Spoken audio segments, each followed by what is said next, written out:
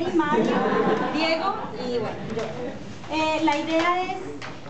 porque tuvimos la ventaja de que tuvimos un eh, participante que estuvo un rato en una mesa y luego nos acompañó a nosotros. Entonces eh, supimos qué fue lo que pasó cuando se habló de las redes y ahora lo que estaba diciendo Laura, creo que sí estamos bastante sintonizados.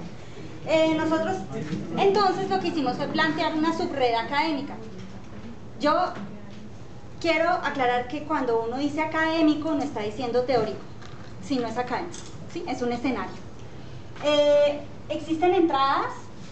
que es lo que venimos a, ver hoy, es decir, hay unas iniciativas, se está haciendo un mapeo, se está levantando información de qué es lo que se está haciendo, hay gente que está trabajando en ello, que ya está pensando en ello y que está construyendo en muchas partes.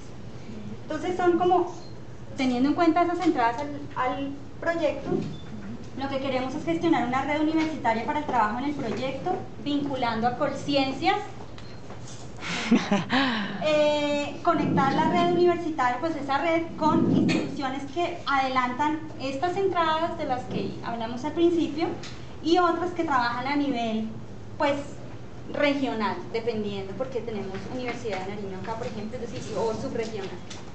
Convocar actores para apoyar la propuesta, es decir, ya empezar a mirar quienes que estén trabajando en iniciativas de innovación social quieren contactarse con nosotros para apoyarlos a sistematizar esa propuesta. Ya tenemos un proyecto,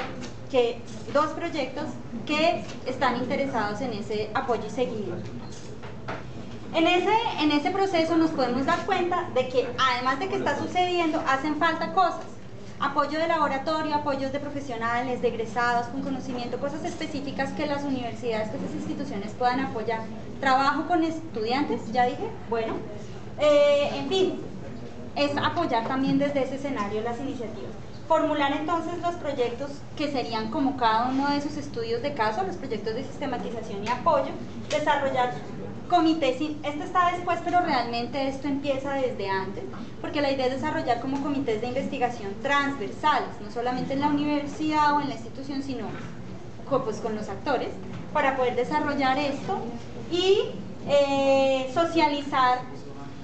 toda esta iniciativa en diferentes eventos, pues nacionales, regionales, internacionales y generar pues el escenario para la publicación y consolidación de eso. Entonces, ¿qué es lo que se quiere, a dónde se quiere llegar? Generar pues y consolidar un cuerpo teórico basado en la experiencia en innovación social en Colombia, es decir, vamos a sí generar marco conceptual y trabajar sobre marcos metodológicos que nos puedan apoyar en eso. Vuelvo y digo, no es una cuestión teórica, es basado en la sistematización y en la experiencia. Apoyar pues las experiencias con, es en sí mismo pues también un objetivo, con profesionales, laboratorios, egresados, estudiantes, pues lo que, conocimiento que se haya generado, aprovechar escenarios de discusión para convocar, gestionar y socializar los proyectos y eh, pues digamos en el escenario universitario pues claro fortalecer los procesos de formación, investigación y proyección social. La academia no es teoría, vuelvo y digo, es decir, ya cada vez menos lo que, lo que sucede en el aula se queda en el aula, cada vez más está teniendo un escenario de acción y creo que ya también es momento de que estos procesos se incorporen a, a este tipo de, de iniciativas. Muy bien, ya